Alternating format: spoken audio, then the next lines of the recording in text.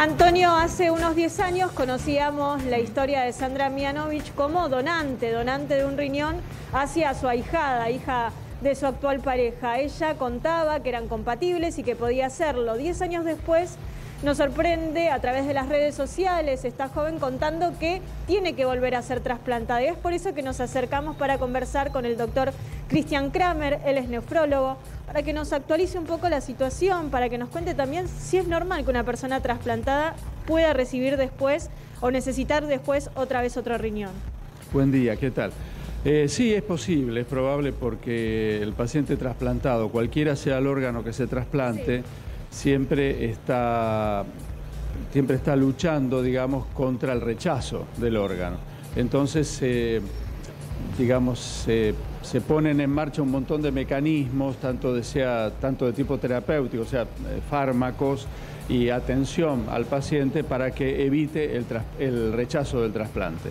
Entonces, bueno, un trasplante puede durar poco, mucho o mucho tiempo, o muchísimo tiempo. Pero depende tanto del huésped, o sea, de quien recibe el órgano, eh, del órgano y de quien dona el órgano. Y por supuesto, bueno, eso es un poco idiosincrático. Hay gente que lo que, que anda muy bien y rápidamente, otros que que, no tan, tan así. Pero sí, hay gente que se ha trasplantado tres veces, incluso. Bueno, en este caso, doctor. Antonio, te escuchamos. Sí, buen día, eh, gracias, Mercedes.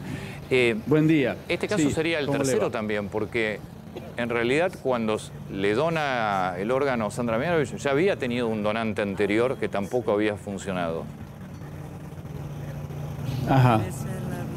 Sí, bueno, sí, se puede donar, eh, digamos, eh, pero, pero hay, hay organismos, o sea, se puede recibir un órgano. Organismos que están más predispuestos al rechazo que otros, evidentemente.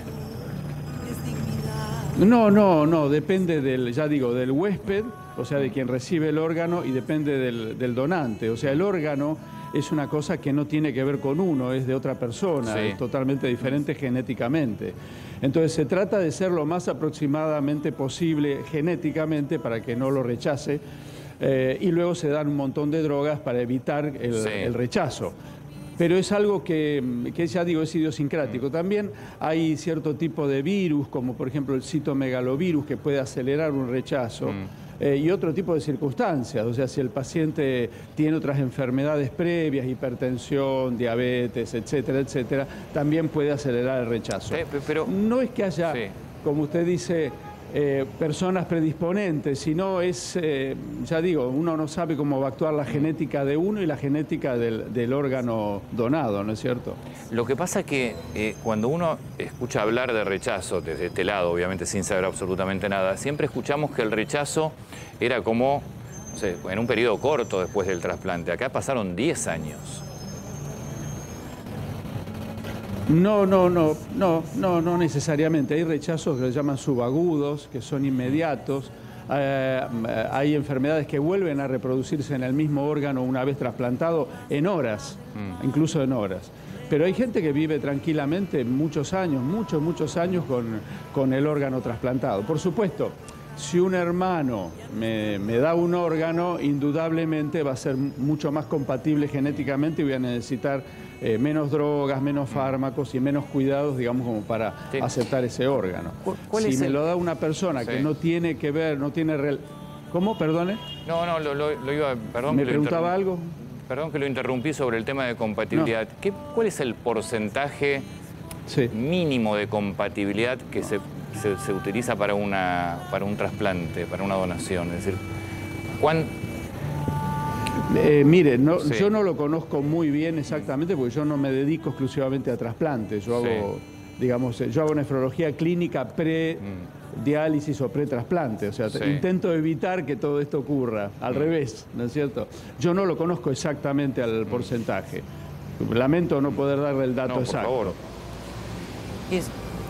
y ¿Qué, es lo que le pasa al riñón exactamente? ¿Al riñón? Para, cuál riñón? para necesitar, para necesitar un trasplante.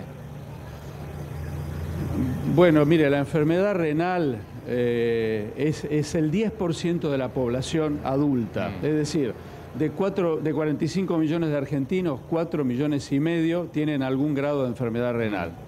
Es muy difícil pesquisarla, un poco porque a veces el médico no lo advierte y muchas veces el paciente no lo siente. Cuando lo siente ya es muy tarde. Mm. Eh, hay dos enfermedades que son principales y que son terriblemente prevalentes en las poblaciones mundiales. Uno es la diabetes y otro es la hipertensión. Habría que prevenir la diabetes y prevenir la hipertensión arterial para evitar cada vez más enfermedad renal.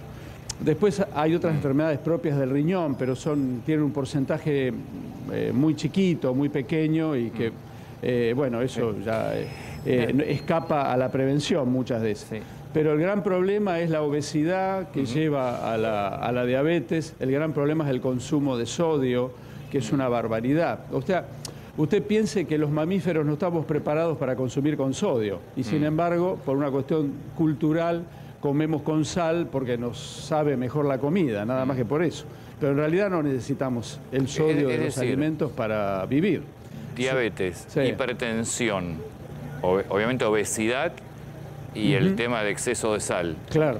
Son cuatro, cuatro puntos que hay que prestarle mucha atención para evitar dañar los riñones. Exacto.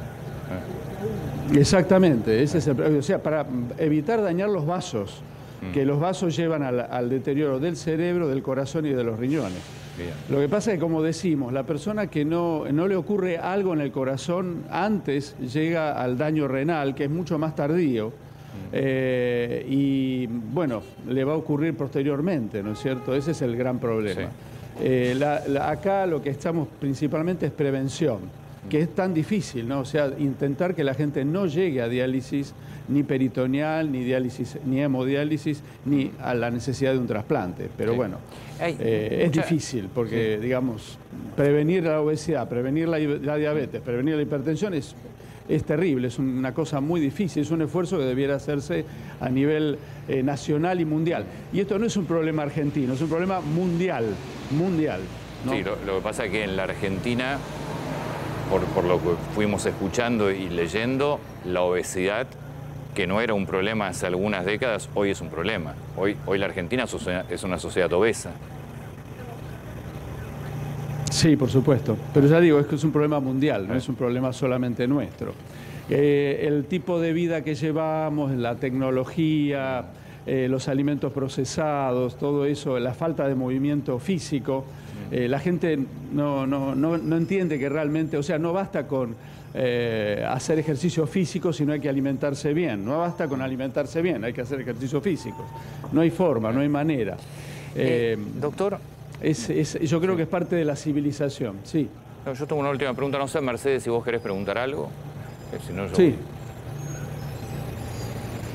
Mercedes. Sí, no, bueno, ah. tiene que ver también con los cuidados que uno puede tener, Antonio, después de un trasplante, de qué manera manejarse, como ¿se puede, es posible cuidar ese órgano que llega nuevo de alguna manera? Claro, hay que pensar que la persona trasplantada vuelve a ser un insuficiente renal crónico, es decir, vuelve a un periodo anterior, antes de que sus riñones se deterioren completamente. Entonces vuelve a tener que tener todas las prevenciones. Por ejemplo, la dieta hipoproteica, o sea, nosotros tenemos un exceso de proteínas en la dieta que es algo increíble. Eh, eh, digamos, las proteínas animales en, en, la cantidad que consumimos es una barbaridad, porque nos va gastando la reserva funcional renal. Entre eso y el sodio, bueno, vamos llegando despacito al deterioro vascular y, al, deterioro renal. bueno, antes tampoco se vuelve una vida normal, sino que siempre va a ser paciente. mejor, mejor, mucho mejor, pero hay que cuidar muchísimo ese riñón trasplantado. Es, es así, ¿no? Doctor, muchas gracias eh, por el tiempo. Mercedes, gracias. Eh. No, no, al contrario, que anden ustedes muy bien.